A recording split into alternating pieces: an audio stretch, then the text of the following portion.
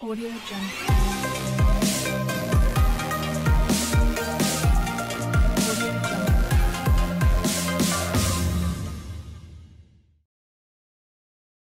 Chào mừng các bạn đến với chương trình ẩm thực của kênh youtube Thuần SD Hôm nay mình chia sẻ với các bạn món ếch núp lùm và món gỏi rau càng cua, trứng và cá mòi. Để làm món ếch núp lùm chúng ta cần những nguyên liệu như sau. Nhân vật chính của chúng ta đây, ếch để nguyên da luôn nha các bạn. Và xả Xả cây chúng ta bào ra Và đây là một ít xà lách cộng với ớt để chúng ta trang trí cho đẹp Sau đó chúng ta cuộn lại ăn kèm với ếch một số nguyên liệu muối, đường, bột ngọt và hạt nêm. Trước khi chiên ếch lên thì chúng ta cần phải ướp. Chúng ta cho một muỗng bột ngọt vào.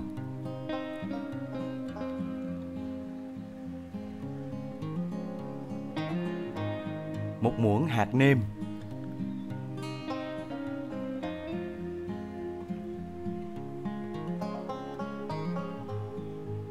Muối bọt, chúng ta cũng cho một muỗng vào.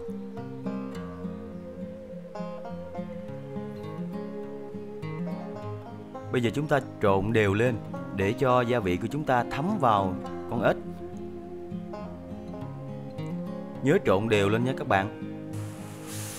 Cho nó thấm đều vào con ếch. Tí nữa chúng ta sẽ chiên lên. Đó, con ếch chúng ta để nguyên da như vậy. Cái da nó sẽ rất là giòn và béo. Bây giờ chúng ta cho dầu vào nồi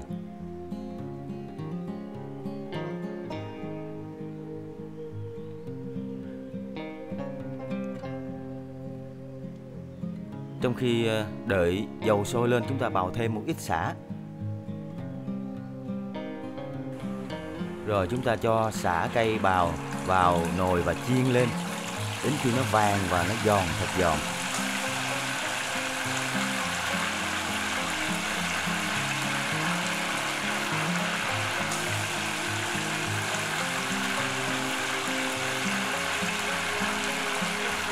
Chúng ta cho lửa riu riu thôi nha các bạn.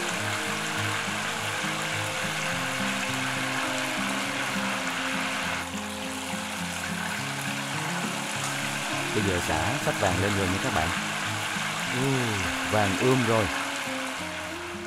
Tí nữa chúng ta ăn vào nó sẽ giòn tan ở trong miệng và rất là thơm. Xả cũng rất tốt cho sức khỏe nha các bạn. Bây giờ chúng ta sẽ bỏ nhân vật chính của chúng ta vào chiên lên những con ếch còn nguyên da. Khi nó chín nó sẽ vàng lên và nó giòn béo ngậy nó đã chín vàng rồi. Wow, thơm quá. Và bây giờ chúng ta sẽ gấp nó ra dĩa trang trí lên. Đẹp mắt chưa? Bây giờ chúng ta sẽ cho xả lên. Nhìn giống như hai con ếch đang núp ở trong cái bụi lùm vậy các bạn. Như vậy nó mới có cái tên là ếch núp lùm. Wow Bây giờ thì khui bia thôi. Món này chúng ta sẽ chấm với muối tiêu chanh. Wow. Cái này thì hao bia lắm đây. Xin mời các bạn. Vậy là chúng ta đã hoàn thành món ếch núp lùm rồi nha. Chúc các bạn thành công. Bây giờ thì đến món gỏi rau càng cua, trứng và cá mòi. Để làm món gỏi rau càng cua, trứng và cá mòi, chúng ta cần những nguyên liệu như sau. Một củ hành tây và hai trái cà chua.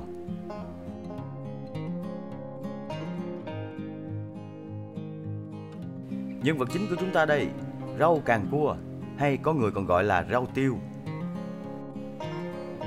Ba quả trứng vịt lạc hai hộp cá mòi. Bây giờ thì chúng ta luộc trứng lên và khử tỏi. Nhớ là đừng để cho tỏi khét đấy nha.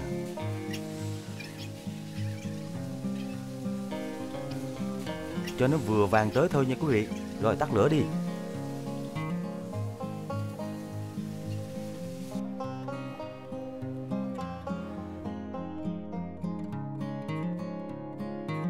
Sau đó chúng ta sẽ tiến hành sắc hành tây. Sắc nhuyễn ra nha các bạn. Vừa thôi. Cũng đừng nhuyễn quá. Nhuyễn quá chúng ta trộn lên nó sẽ bị gãy hết.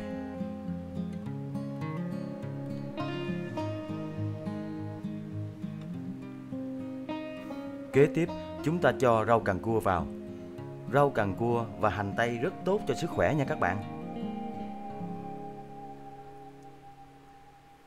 Rồi chúng ta cho vào và trộn đều lên với nhau.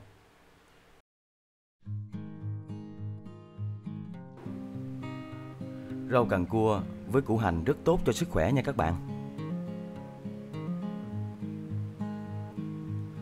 Sau đó chúng ta cho một ít giấm vào chén.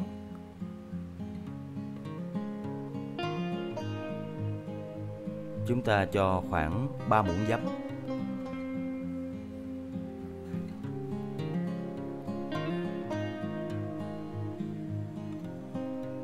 Và chúng ta cho khoảng 2 muỗng, 2 muỗng rưỡi, 2 muỗng rưỡi đường nhé các bạn.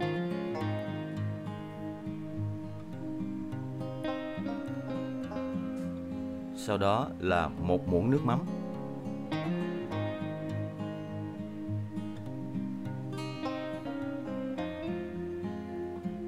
Chúng ta khuấy đều lên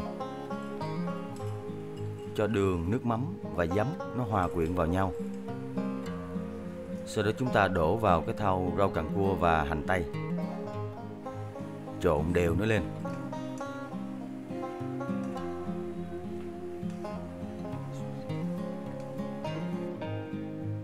Và bây giờ chúng ta tiến hành sắc cà chua. Xong chúng ta sẽ trang trí lên dĩa. Chúng ta sắc trứng vịt. Trang trí lên. Wow, đẹp mắt chưa các bạn? Chúng ta cho rau cần cua. Sắp rau cần cua lên cho đẹp Và chúng ta chan cái nước ờ, mỡ tỏi hồi nãy đó các bạn. Chúng ta khử tỏi đấy, Đổ nó lên.